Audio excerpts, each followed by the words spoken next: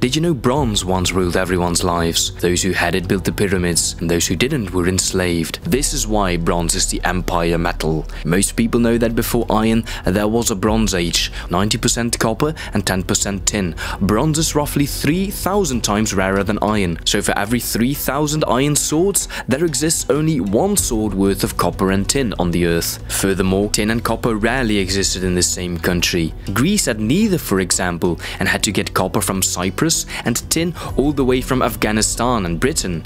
Making a sword was just the last step in a years-long process of mining it in Afghanistan and transporting it over the backs of camels, riverboats and across deadly seas, which was soon filled with pirates who exploited bronze's distance and created vast pirate armies with stolen bronze. If you're enjoying one, subscribe for more ancient history deep dives.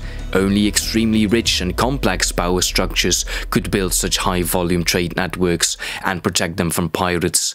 This forced Bronze Age societies to develop first before they made war, where Iron societies often skipped the civilization step and went straight to tribal warfare. Magnificent Bronze Age states were the outcome, in many ways more sophisticated than later Iron Age civilizations. Arts, inventions, and new ideas flowed along with copper and tin trade. This made for a much more collaborative world with a super civilization structure, where each individual civilization could specialize and achieve much higher mastery than seen in many civilizations after the Bronze Age. And that's even before factoring in bronze's unique material advantages. Unlike iron, which until modern times couldn't be melted but much more difficultly forged into cruder shapes, bronze could be cast in precise and complex ways.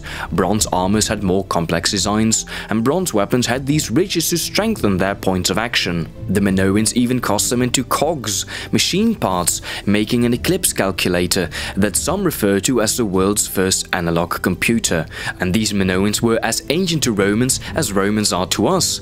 Building those bronze trade networks took a lot of effort, but once built, their bronze armies cut through stone-wielding foes like butter. Bronze made empires arise more naturally than iron, and elites could easily dominate the masses who could only get bronze through them. The Iron Age wasn't some revolution when someone invented iron. No iron was already forged during most of the Bronze Age. It simply was worse than bronze. The Iron Age began as a dark age forced upon civilization when pirates cut off those bronze trade networks. They quickly lost the sophistication to regain trade with Britain and Afghanistan.